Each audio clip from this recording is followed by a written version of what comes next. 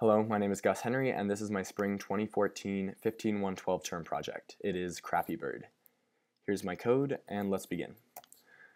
When you start the game, it opens the splash screen where you have two options to either play a level or to open the level editor. We'll start by playing a level, and we'll click on level 1.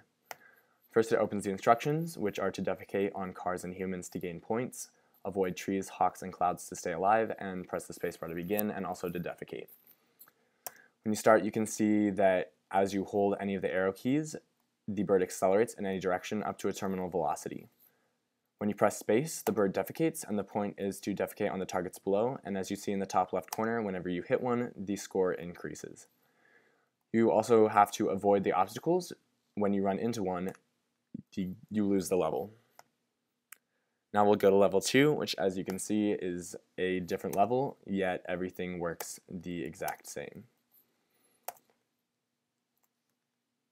In addition, we have the level editor.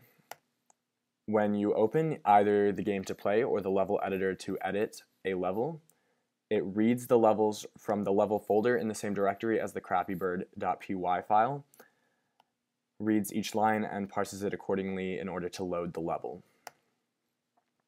When we go into level 1, for example, you can move obstacles around, such as the tree, which snaps to the bottom because trees don't float as well as the targets, or you can move the obstacles in the air around as well. To see how it saves, we will delete this storm cloud and then put in a regular cloud, click save, go back and play level 1 and as you can see the regular storm cloud is now at the beginning where we placed it. In addition, when you close out the file and reopen the program, and you go into play again, the op the uh, options that you saved are exactly as they were before because it saves to an external file.